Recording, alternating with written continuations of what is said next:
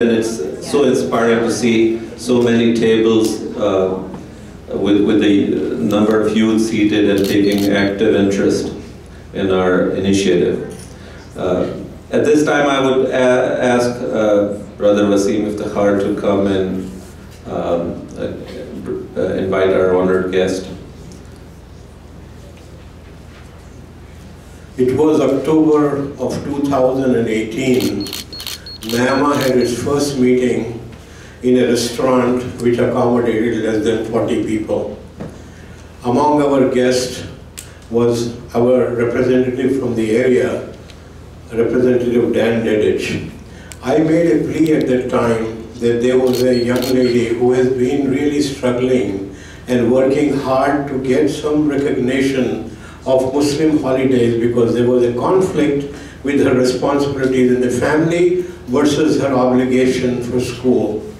And at the very end of that presentation, Dan stopped me. He was a guest at that time. You may remember that, Dan. You stopped me and said, Wasim, let me tell you, what can I do for you? And he said, why don't you all come in to my office and we can talk. And since that time, he has really, really took it upon himself to look at by the way, he's our representative from this area, a very concerned representative, I should say, because I know his, he's been constantly in touch with his constituents. And lo and behold, about a month ago, he uh, called me and said, Wasim, I want you to be key witness for a bill that I have submitted to the House, which was a House Bill 4011, if I'm correct. And Anas, my dear treasurer and vice president who works behind the scene, uh, he's a treasurer of his, he called me and said, okay, I cannot go, I'm too tired, I'm old, I cannot drive too far on night before. And Anas said, doesn't matter, I work till 6 o'clock in the evening. We will leave after that. So we left about 9 o'clock.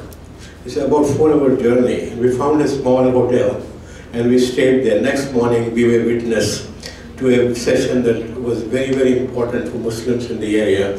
That was the educational committee of the House. We testified there. Dan led the discussion, and we were the only witness to testify at that time.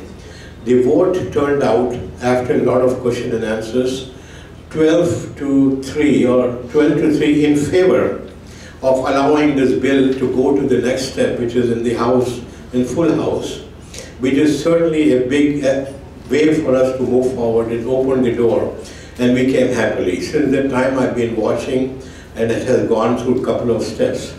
So I don't need to give you a full introduction, but this, this afternoon I received a letter from somebody whose name I did not want to mention because I don't have her permission to do so, although I called dear friend of mine who works with the federal teachers uh, union, and I think you probably know this, Ms. Holland, very well, the person I'm talking about. And she wrote to us saying, the teachers, totally, as a teacher, I can tell you that we face this problem when Muslims are not allowed any privilege when they're fasting. And she said the physical education classes, uh, and she said something that really touched my heart. She said, if the teachers know the situation, quote, if the teachers know the situation, they are very sensitive. And my daughter being a teacher, I know how sensitive our teachers are.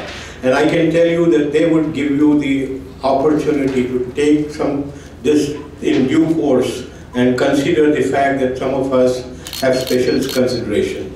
So those two examples illustrate very well the need for us to work together to help them as we approach this very milestone. The beauty of this bill, it does not just mention Muslims. It mentions several religious holidays. NIAMA is not a Muslim organization. It's run as an organization by the Muslims for fairness for all religions. So when the bill went and I saw the wordings, I was double delighted because we do not want to consider this only as a Muslim issue. Maybe the Hindus and the Jews and the Christians have similar feelings. So that on behalf of all groups, not only on NIAMA Group, I would like to welcome you and invite you to say a few words of, uh, for our benefit. Thank you very much.